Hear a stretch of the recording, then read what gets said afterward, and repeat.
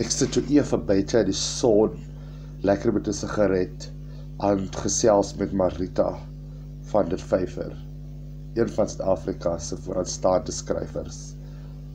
"Toe aan," sê sy vir my. "Ek dag is toe jen. Ons het tog lekker gesels, hartsmens."